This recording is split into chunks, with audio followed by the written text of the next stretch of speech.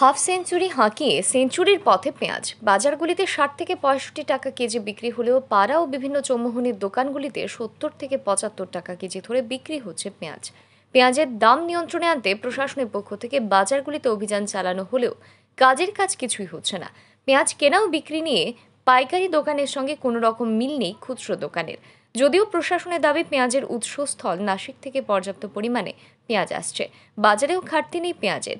বাজারে ব্যবসায়ী সমিতি প্রশাসন এবার অন্য পথে হাঁটল। পেঁয়াজের কালো বাজারে রুখতে মহারাজগঞ্জ বাজারে ন্যায্য মূল্যের দোকান খোলা হয়েছে। সেখানে পঞ্চান্ন টাকা কেজি ধরে বিক্রি হচ্ছে পেঁয়াজ। শুক্রবার এই ন্যায্য মূল্যের দোকান উদ্বোধন করলেন খাদ্য দপ্তরের অধিকর্তা নির্মল অধিকারী। উপস্থিত ছিলেন ব্যবসায়ী সমিতির কর্মকর্তাগণ। ন্যায্য মূল্যে পেঁয়াজ বিক্রির দোকান খোলাতে ক্রেতা সাধারণ উপকৃত হবেন বলে জানালেন দপ্তরের আধিকারিকরা।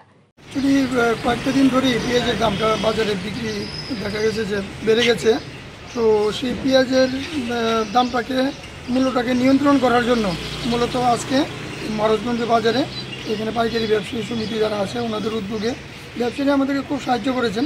আমরা এই কাউন্টারটা খুললাম। এখানে পঞ্চান্ন টাকা এক কিলো পেঁয়াজ পাওয়া যাবে।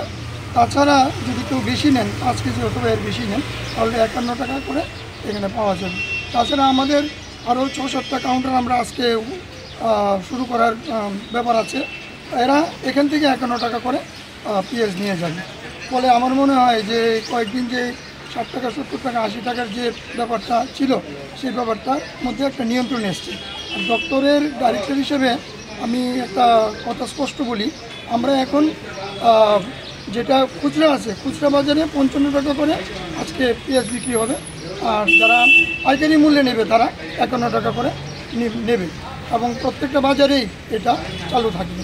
তার বাইরে কোনো ব্যবসায়ী যদি কোনো কিছু করেন সেটার দায়িত্ব ওনার এবং প্রশাসন সে তার জন্য করা পদক্ষেপ।